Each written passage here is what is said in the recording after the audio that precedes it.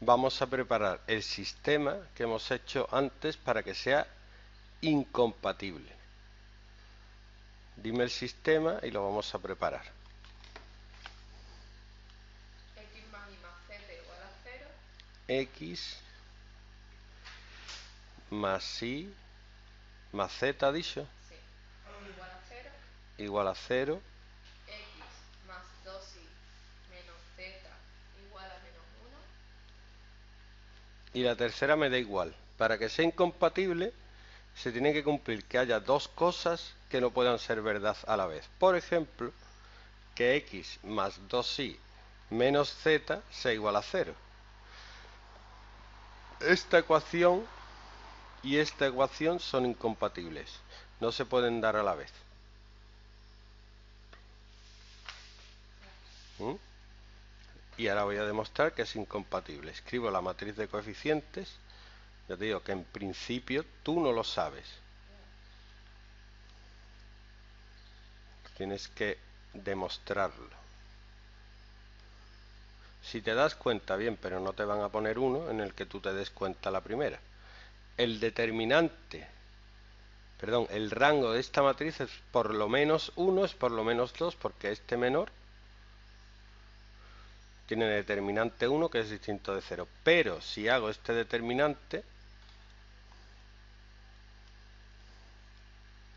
me va a dar 0. ¿Por qué? Porque tiene dos filas iguales.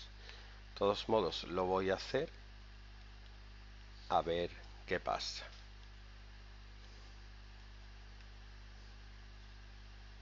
Efectivamente es 0.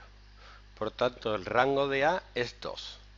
Y ahora escribo la matriz de coeficientes, que es 1, 1, 1, 1, 2 menos 1, 1, 2 menos 1, 0 menos 1, 0.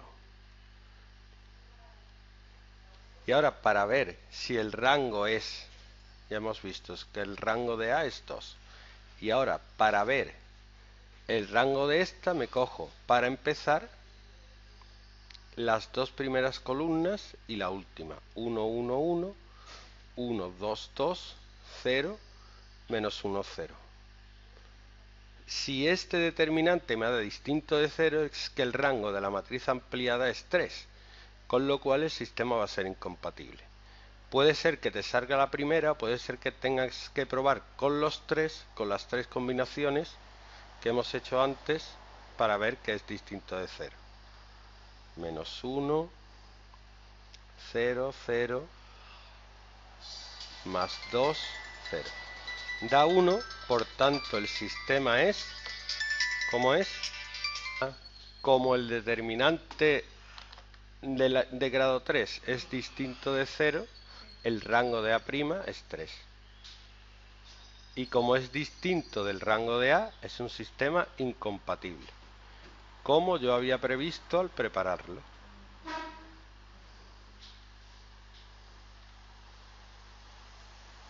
Incompatible.